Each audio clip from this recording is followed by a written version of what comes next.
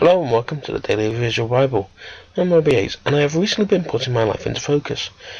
You see, I have spent some time trying to find a voluntary placement in order to satisfy somebody who would say on whether or not I would be able to get onto minister your course. The reality of the situation is that it has become a lot harder to volunteer anywhere in the UK, that it has almost become like applying for a job. And then we come to a more important truth. Yesterday I found myself helping somebody out because they put out a request in social media, and I was in a position to offer my help. I help my mother to go shopping nearly every day of the week. The coffee shop I go to on a Thursday, I find myself helping to take things into the kitchen, with never being asked to.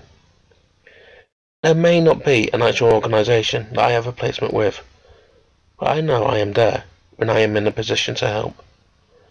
Reading Deuteronomy chapter 11 today, let's open God's Word with prayer. Lord, I ask that as I read your word, that you reveal something new to me. I also ask that as people hear your word, they come to better understanding of you. Amen. Therefore, you shall love Yahweh your God, and keep his instructions, his laws, his practices, and his commandments always.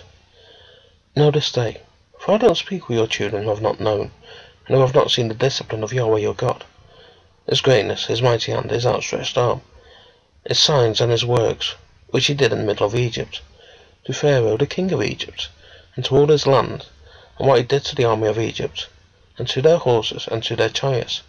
For he made the water of the Yam Suf to overflow them as they pursued you. And now Yahweh has destroyed them to this day.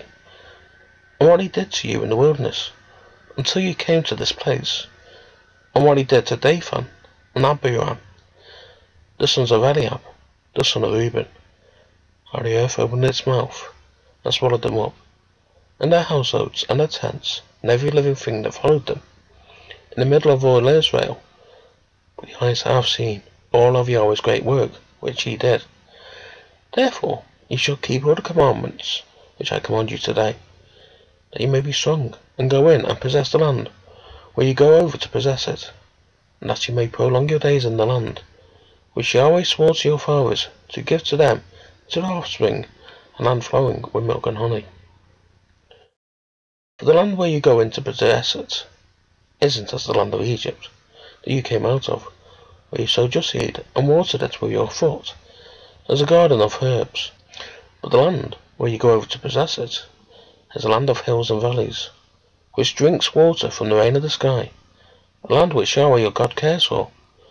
Yahweh your God's eyes are always on it, from the beginning of the year even to the end of the year. It shall happen, if ye shall listen carefully to my commandments which I command you today, to love Yahweh your God, and to serve him with all your heart and with all your soul, that I will give the rain of your land in its season, the former rain and the latter rain, you may gather in your grain, your new wine and your oil. I will give grass in your fields for your livestock, and you shall eat and be full.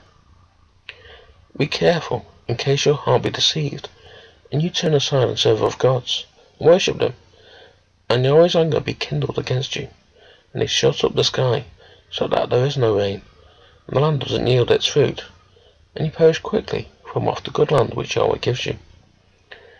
Therefore, you shall lay up these words in your heart and in your soul.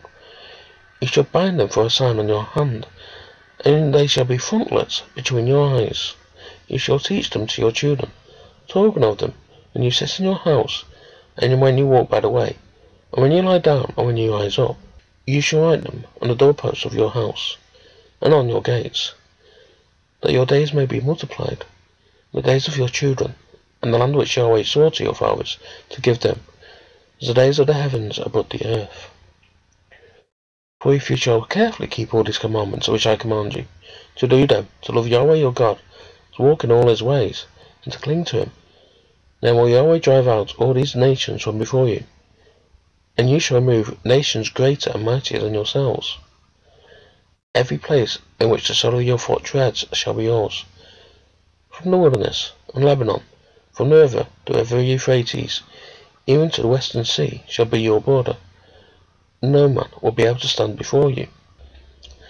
Yahweh your God will lay the fear of you, and the dread of you, on all the land that you tread on, as he has spoken to you. Listen, I set before you today a blessing and a curse.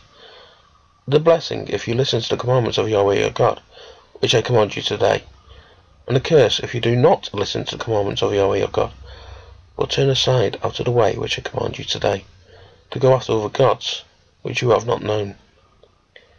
It shall happen, when Yahweh your God brings you into the land where you go to possess it, that you shall set the blessing on Mount Gerizim, and the curse on Mount Ebal. Aren't they beyond the Jordan? Beyond the way of the going down of the sun, in the land of the Canaanites you dwell in the Arabah, near Gilgal, beside the oaks of Moreh. For you are to pass over the Jordan, to go in to possess the land which Yahweh your God gives you, and you shall possess it and dwell therein.